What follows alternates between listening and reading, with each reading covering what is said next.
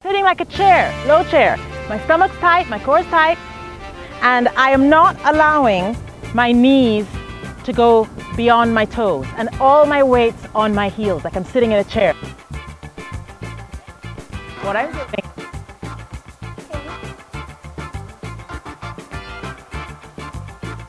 my arms and I'm doing rows, rows, rows.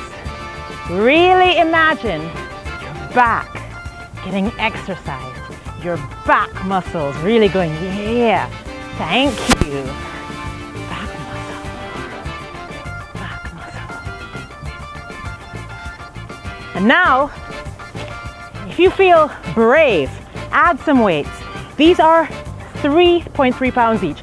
You can add some three pound weights, 1.5 liters of water, or 50 ounces of water is about 3.3 pounds or 1.5 kilos. So, sitting in my chair, knees not over, tapping, tapping. My back.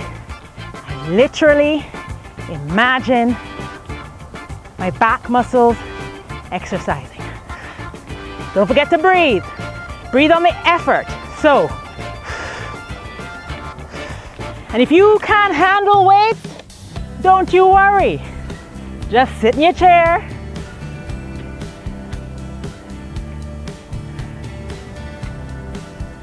Lots and lots of love.